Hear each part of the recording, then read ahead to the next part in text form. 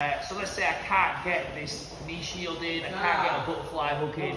So what I'm going to do instead is I'm going to bring the outside foot and swap over. That foot's going to tuck behind my other leg as my leg on the inside of his goes underneath his foot. And this gets us a lockdown. This can quite often stop any arm lock or any squeezing that Jordan is doing on me. And I can squeeze it down and just prevent that from happening.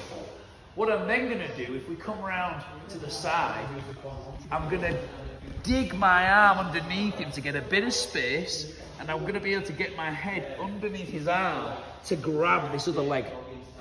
I'm then going to lift with that leg to turn him on the side as I squeeze on with my lockdown.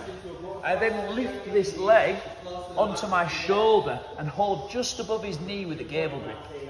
I'm then going to pull down with the lockdown and lift with my shoulder to get the electric chair, yeah? if I don't tap them, let's say they can do this front splits, no problem.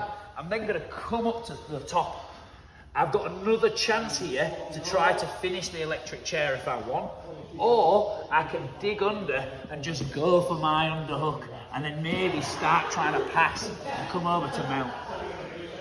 So that was a deep half sweep with the option of an electric chair.